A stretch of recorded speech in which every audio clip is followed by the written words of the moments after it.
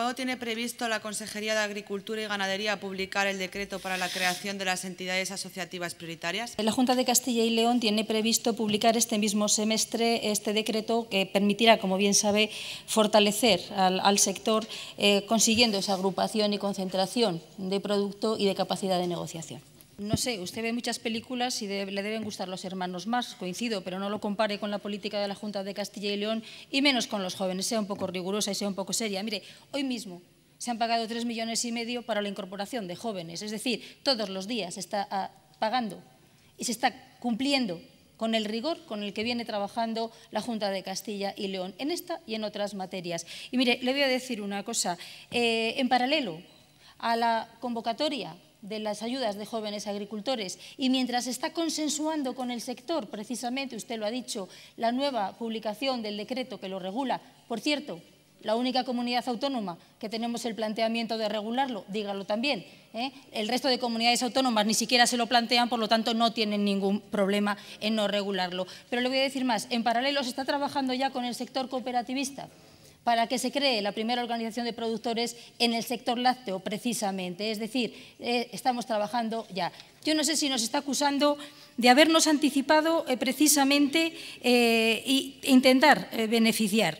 No sé si nos está acusando de ser los primeros y los únicos en España de tener esta regulación. No sé si nos está acusando de haber sacado la convocatoria de jóvenes agricultores con carácter anticipado y simplemente ahora tener que adaptarla al programa de desarrollo rural y a las exigencias de la Comisión Europea. O si realmente lo que no le gusta y entiendo que no le guste, es que el cooperativismo en Castilla y León sea fuerte. Si lo que no le gusta es que el sector agrícola y ganadero sea fuerte y sea competitivo, y por eso no le gusta que trabajemos en esta dirección. Y lo entiendo, entiendo que este modelo no le guste, porque realmente el modelo que ustedes plantean en su programa electoral y no me invento nada, el modelo que ustedes plantean está muy lejos de apostar por un sector agrícola y ganadero competitivo y empresarial. Más bien, lo, podemos leer, apuestan por iniciativas muy importantes, financiar y premiar a aquellos agricultores que tengan molinos de agua, chozas, antiguos hornos de leña, mercados campesinos o que hagan compra solidaria. Y solo mencionan en todo el programa el cooperativismo cuando habla de productos autóctonos, dejando fuera a la mayor parte de nuestros agricultores. Mire, eh, todos sabemos cuál es su línea de trabajo y cómo creen en el sector agrícola y ganadero.